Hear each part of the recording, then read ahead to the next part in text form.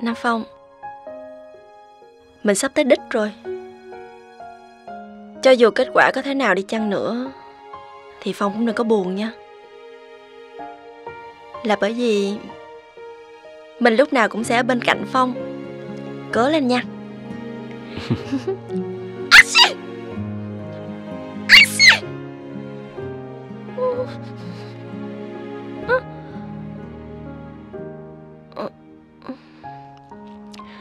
Như vậy đã ấm hơn chưa?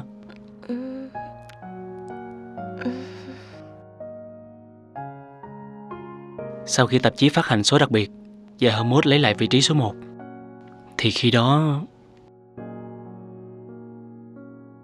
mình sẽ cầu hôn Chi. An Chi nè, nhất định mình sẽ làm được. 15 năm xa cách mới liên lạc với Chi là khoảng thời gian khó khăn nhất trong cuộc đời của mình. Mình không thể nào để mất Chi một lần nữa được. Từ giờ cho đến 15 năm sau, hay là 15 năm nữa, hoặc là lâu hơn nữa, mình vẫn muốn sẽ luôn ở bên chi chi vẫn lạnh hả